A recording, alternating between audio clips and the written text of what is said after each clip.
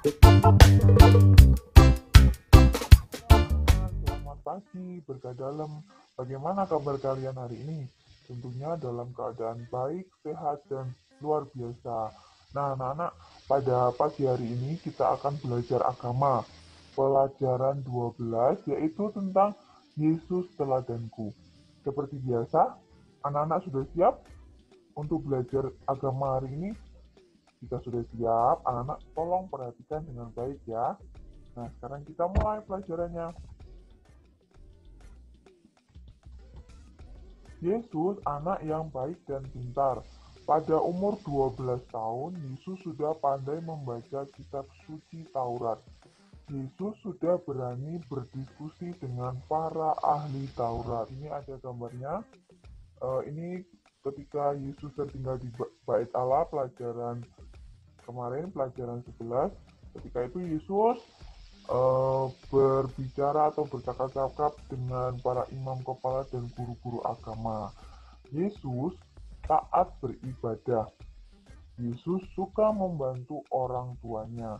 Selain itu, Yesus hormat kepada orang tuanya dan taat pada nasihat orang tuanya. Yesus mengetahui mana perbuatan yang baik dilakukan dan perbuatan buruk yang tidak boleh dilakukan. Yesus rajin berdoa dan Yesus selalu peduli terhadap orang-orang yang sakit dan menderita. Anak ada beberapa gambar, mari kita mengamatinya. Di sini ada beberapa gambar anak-anak? Ada empat gambar. Nah, ini gambar yang pertama ini kira-kira apa? Gambar tentang apa? Nah, gambar pertama ini tentang seorang tukang sepatu yang sedang bekerja menantikan kedatangan Yesus. Nah, gambar sebelahnya ini adalah seorang kakek yang uh, kedinginan ya. Kakek ini tidak punya rumah. Kemudian gambar yang ini adalah gambar orang-orang yang mengungsi ketika terjadi bencana banjir. Gambar yang terakhir adalah seorang anak perempuan yang miskin dan merasa lapar. Nah, ini adalah beberapa gambar anak-anak uh, yang terjadi biasanya terjadi atau ada di sekitar kita. Di sekitar kita ada banyak orang hidup menderita ya seperti di gambar tadi anak-anak ya keempat gambar tadi. Mereka membutuhkan pertolongan kita.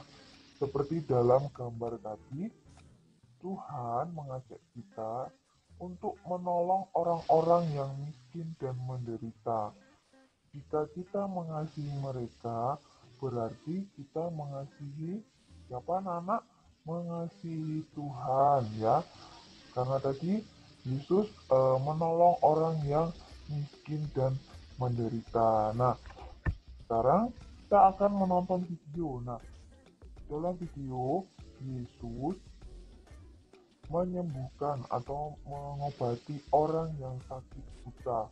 Yang orang buta ini membutuhkan pertolongan Yesus, maka Yesus menolong dia ya. Dan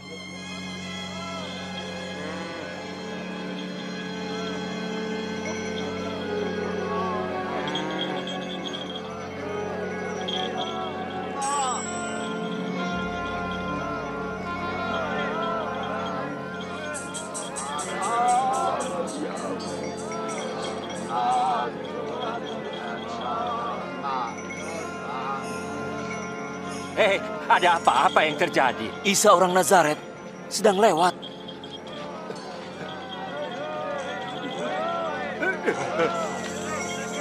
Isa!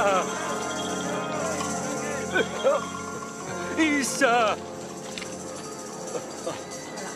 Anak Daud, kasihanilah saya.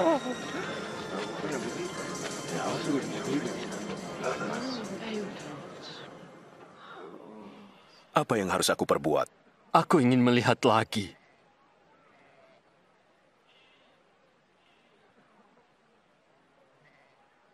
Melihatlah. Imanmu menyembuhkanmu. Aku bisa melihat. Aku bisa melihat. Aku bisa melihat lagi. Oh, terima kasih.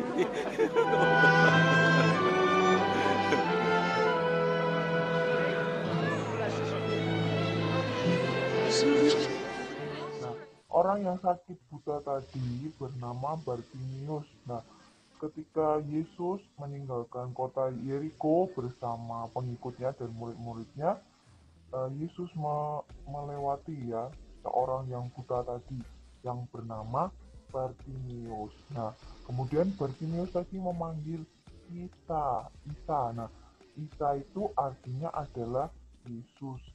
Ya, Bartimius tadi memanggil eh, Isa, Isa anak Daud, kasihanilah saya ya, supaya Yesus mendengar dan mau menyembuhkan Bartimius sendiri agar dia bisa melihat. Nah, Yesus mengasihi orang-orang yang menderita, seperti Bartimius yang percaya dan meminta belas kasihannya.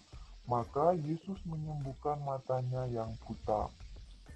Ketika matanya sembuh, Bartimius mengikuti Yesus ke mana pun Yesus pergi.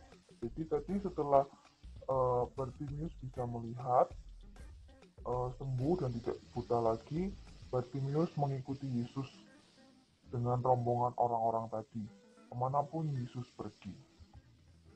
Nah, eh, dalam ceritanya Yesus tadi yang menyembuhkan atau menolong orang yang menderita, kita bisa meneladani Yesus anak-anak dengan cara rajin berdoa dan selalu peduli terhadap orang yang menderita. Kemudian, mengasihi sesama yang meminta pertolongan kita tanpa pilih kasih. Dan mengasihi Tuhan dengan mengasihi sesama. Yesus juga mendengarkan permohonan kita jika kita memohon dengan penuh iman ya, dengan penuh iman atau dengan sungguh-sungguh. Ya, demikian anak-anak penjelasan agama pelajaran 12 hari ini. Semoga dengan penjelasannya tadi kalian bisa memahami dan mengerti untuk belajar. Ya, anak-anak jangan lupa di rumah tetap jaga kesehatan dan patuhi protokol kesehatan.